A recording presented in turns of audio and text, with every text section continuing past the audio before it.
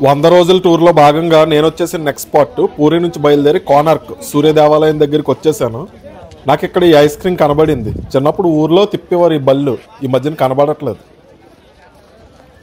సూర్య దేవాలయం మనకు కరెక్ట్గా సెంటర్లో కనబడుతుంది. ఎంట్రీకి పక్కనే టికెట్ తీసుకోవాలన్నమాట. ఇది కోవిడ్ వేవ్ టూ మంచి సివియర్గా ఉండేది. జనాలు మాత్రం అసలు భయం లేకుండా టూరిస్ట్ ప్లేస్లకు బాగానే తిరుగుతున్నారు మనలాగే. వీడి కంగారు ఆగట్లేదు వీడు అవడం నన్ను తోసుకుని తోసుకుని వెళ్ళిపోతున్నాడు వీడు మహా దారుణం ఇది. ఇండియన్స్కి నలభై రూపాయలు అయితే ఫారినర్స్కి ఆరు వందలు అంట ఇదే రీజను మేము బయట కంట్రీలకు వెళ్ళినా కూడా అక్కడ ఫారినర్స్ అని చెప్పి తెగదొబ్బేస్తారు డబ్బులు. హైదరాబాద్లో మెట్రోలో ఇచ్చినట్టు మనకి బిల్ ఒకటి ఇచ్చారు. ఈ బిల్ అక్కడ పెడితే టెంపుల్కి వెళ్ళిపోవచ్చు అంట మంచి ఎక్సైటింగ్గా ఉంది టెంపుల్ చూస్తే నాకు. చిన్నప్పుడు బుక్లో చదువుకొని ఉంటాం కదా కోనార్క్ సూర్య దేవాలయం అని చెప్పి. ప్రత్యక్షంగా నా కళ్ళతో చూస్తుంటే భలే అనిపించిందిలే. ఇక్కడ టెంపుల్ కంప్లీట్ ప్లాను దాని పక్కన అసలు ఈ టెంపుల్ ఎప్పుడు కట్టారు అని చెప్పి హిస్టరీ. నేను ఇంతకు ముందు తంజావూరు వీడియో కూడా సేమ్ ఎక్స్ప్లెయిన్ చేసుకుంటూ వచ్చాను. ఒకవేళ మీరు ఆ వీడియో చూడకపోతే వెళ్ళి చూడండి. సో ఈ టెంపుల్ని ఇంచుమించు థర్టీన్త్ సెంచరీ అంటే పన్నెండు వందల చిల్లరలో కట్టారంట. నరసింహదేవ అనే రాజు కట్టాడంట. రాగానే గ్రాండ్ ఎంట్రీ పక్కన రెండు సింహాలు పెట్టారు.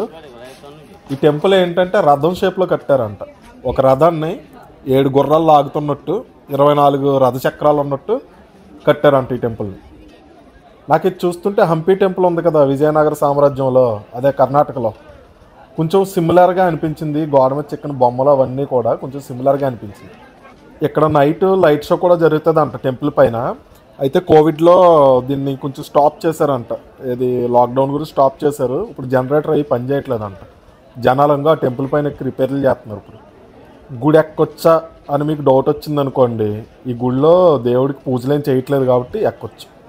మన భారతీయ శిల్పుల నైపుణ్యం ఆషామాషి విషయం కాదు.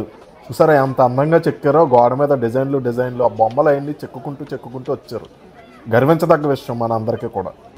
మనకి కోనార్క్ అని నోట్బుక్లు వస్తాయి. ఆ నోట్బుక్ల పైన ఉంటాయి ఈ రథ చక్రాలు ఇరవై నాలుగు చక్రాలు ఉంటాయంట. ఇరవై నాలుగు అంటే రోజులు ఇరవై నాలుగు గంటలు అని.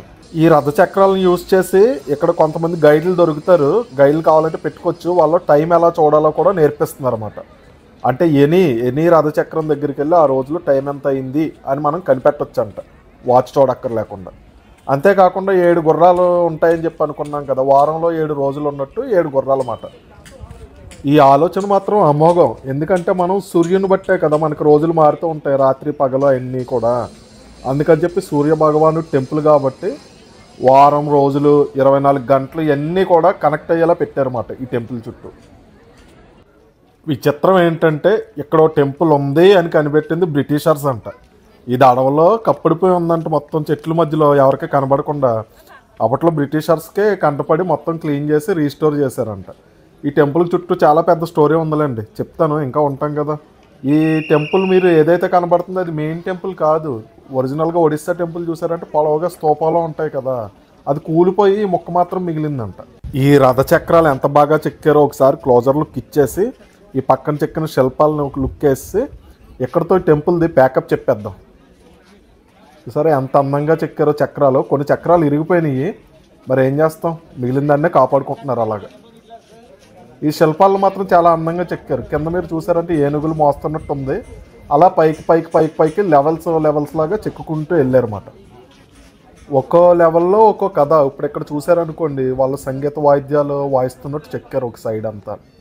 వేరే సైడ్ ఏంటంటే ఏనుగులు వేసుకొని యుద్ధానికి వెళ్తున్నట్టు వేరే సైడ్ చెక్కారు. అలాగే ఒక్కో సైడ్ ఒక్కో స్టోరీ చెప్తున్నారన్నమాట. ఈ టెంపుల్ ఇవన్నీ కూడా స్టోరీలు అన్నీ ఇందులో. మనం వెతకాలి కానీ ఒక్కో బొమ్మకి ఒక్కో ప్రాముఖ్యత ఉంటుంది అన్నమాట పక్కన గీతాంజలి రెస్టారెంట్ అని ఉంది. అక్కడ రొయ్యల కర్రీ చెప్పాను. చూసారా రొయ్యలు ఎంతెంత ఉన్నాయో? గేదె రొయ్యల్లో ఉన్నాయి ఒక్కోటి ఒక్కోటి. ఒక నాలుగు రొయ్యలు ఇచ్చాడు నీట్గా. వైట్ రైస్ చెప్పుకొని కుమ్మేస్తానమాట నేను బుక్ చేసుకున్న హోటల్ పాత్ర ప్యాలెస్ అంట. ఊరికి దూరంగా అటు పక్కన ఇటు పక్కన చేల మధ్యలో ఉన్నమాట. గన్ చూసారా? ఊరికి చివర ఉంది కదా దొంగలు ఎవరైనా వస్తారని చెప్పి అతను ఆర్మీలో పనిచేశాడంట హోటల్ ఓనరు. ఆ గన్ను కూడా పెట్టాడు ఫ్రంట్. ఓ చెప్పడం మర్చిపోయాం ఒడిస్సాలో జీడిపప్పు చాలా ఫేమస్. మనకి శ్రీకాకుళం దాటగానే టెక్కలని ఉంటుంది కదా. ఆ బార్డర్ దగ్గర జీడిపప్పుతో చేసిన వంటకాలు దాబాలు అవన్నీ కూడా చాలా చీప్గా దొరుకుతాయి. ఇప్పుడు మనం ఎక్కడికి వచ్చామంటే ఆ temple interpretation centre Indian Oil ఒకటిది ఇది. అంటే ఏంటంటే సూర్య దేవాలయం అది ఎలా కట్టారు ఆ టెంపుల్లో మనం గుర్తుపెట్టుకోవాల్సినవి చూడాల్సినవి ఏంటి దాని మీనింగ్లు ఏంటి అని చెప్పి ఇక్కడ మనకు అన్నీ ఎక్స్ప్లెయిన్ చేస్తారన్నమాట. టికెట్ తీసుకొని లోపలికి రాగానే ఇంకా సూర్య దేవాలయాలు ఇండియాలో ఎక్కడెక్కడ ఉన్నాయి వాటి ప్రత్యేకతలు ఏంటని చెప్పి ఇక్కడ రాసి మ్యాప్లో హైలైట్ చేసి ఉంచారన్నమాట. ఇది ఒరిజినల్ టెంపుల్ మోడల్ అంట. ఇలా పొడవుగా స్తూపంలో ఉంది చూసారా సెంటర్లో? అది మన కిందకి లేదు చూడండి అది కూలిపోయింది అనమాట ఆ మిగతా ముక్క మాత్రమే మిగిలింది. సో ఇది ఆ టెంపుల్ మోడల్ ఒరిజినల్గా కట్టినప్పుడు ఎలా ఉండేది అని చెప్పి మోడల్ ఇది. తర్వాత ఇక్కడ ఏ ఏ రాజులు టెంపుల్ని ఏ ఏ స్టైల్స్లో కట్టారు ఒడిస్సాలో అని చెప్పి ఇది ఒక స్టైల్ ఆఫ్ టెంపుల్ అంట. ప్రజెంట్ స్టైల్ ఇది. ఒడిస్సాలో ఉన్న టెంపుల్స్ అన్నీ కూడా ప్రజెంట్ ఈ స్టైల్ ఎలాగా స్తూపంలో ఉంటాయన్నమాట. ఆ స్తూపంకి సంబంధించి ఫస్ట్ పైకొప్పని ఏమంటారు తర్వాత దాని కింద ఉన్నది ఏమంటారు అని చెప్పి మొత్తం ఎక్స్ప్లెయిన్ చేసుకుంటూ వచ్చారు. ఈయనే మన సూర్య భగవాన్ నమస్తే సార్. తర్వాత ఆ టెంపుల్ చుట్టూ చెక్కబడిన రకరకాల బొమ్మలు ఒక్కో బొమ్మకి ఒక్కో మీనింగ్ అని చెప్పి ప్రతి బొమ్మకు ఒక నెంబర్ వేసి దాని గురించి వెనకాల ఎక్స్ప్లెయిన్ చేస్తూ ఉన్నారన్నమాట. మొత్తం అంతా బొమ్మలు బొమ్మల కొలువులా ఉంది ఇక్కడ అంతా కూడా. టెంపుల్ వెనక ఉన్న కథ. అసలు ఈ టెంపుల్లో ఉన్న సూర్యభగవానుడి విగ్రహం ఉంటుంది కదా మూల విరాట్. అది నేలపైన ఉండేది కాదంట. గాల్లో అలా ఎగురుతూ ఉండేదంట విగ్రహం. అది గాల్లో ఎలా ఎగిరేది అంటే టెంపుల్ పైన గోపురం పైన ఒక మ్యాగ్నెట్ ఉండేదంట. ఆ విగ్రహం ఆ మ్యాగ్నెట్ ఆకర్షణ శక్తి వల్ల గాల్లో ఎగురుతూ ఉండేదంట. కోనార్క్ నుంచి నేను బయలుదేరి భువనేశ్వర్ వెళ్తూ దారిలో రోడ్డు పక్కన ఆగానమాట. వీడు దోశలే వేస్తున్నాడు. ఏంటబ్బా అని అడిగితే అది ఒడిస్సా స్పెషల్ చక్కులి అంటారంట. మనకి కేరళలో అప్పం ఉంటుంది కదా సేమ్ అలాగే ఉంది. అదొకటి ఆర్డర్ ఇచ్చాను మరి మనం ఇంత దూరం వచ్చినప్పుడు ఇక్కడ ఫుడ్ ట్రై చేయాలి కదా. అదిగో దోశలో తీసుకొచ్చి పెట్టాడు. ఎలా వేస్తున్నావు చూపించరా అంటే చూపిస్తున్నాడు. సేమ్ దోశలాగే వేస్తున్నాడు పెద్ద తేడా ఏమీ లేదు. మూకుడు మాత్రం ఫ్లాట్గా లేకుండా గుంట కింద ఉంది. మనకి దారిలో హ్యాండ్లూమ్ విలేజ్ అని ఒకటి తగులుతుంది. ఈ ఊరు ఊరు మొత్తం కూడా మనకి చేత్తో చేసిన కళలు ఉంటాయి కదా వీటిని నమ్ముకొని బతుకుతారన్నమాట. అన్నీ కూడాను. ఇదిగో హ్యాండ్ బ్యాగులు ఆ పైన ఇంటికి గుమ్మ ముందు తగిలించుకునేవి చిన్న చిన్న కుర్చీలు లాంటివి మనం పైన అలాడేసుకుని ఊగుతాం కదా అటువంటి కుర్చీలు ఇవన్నీ కూడా ఈ హ్యాండ్లూమ్ విలేజ్లో తయారు చేశారన్నమాట. మా పక్క రూమ్లో ఒడిస్సా అమ్మాయి ఒక అమ్మాయి ఉండేది. ఆ అమ్మాయి చేసేది బాటిల్ పైన రకరకాల పెయింటింగ్లు వేయడం. నేను ఒడిస్సా వాళ్ళ దగ్గరే చూశాను. ఇవన్నీ బీర్ బాటిల్ని మంచి బాగా వాడుకుంటున్నారు వీళ్ళు. ట్రావెలింగ్ చేస్తున్నప్పుడు మనకు ఎంత నచ్చినా కొనుక్కోలేం కదా లగేజ్ పెంచుకోకూడదని. అందుకని చెప్పి నేను రోడ్డు మించి తిప్పుతుంటే షాప్ అతను లోపలికి వచ్చి తీసుకోండి నీట్గా ఏం పర్వాలేదు అని చెప్పి అన్నాడు అనమాట నాకు భలే మంచిగా అనిపించింది.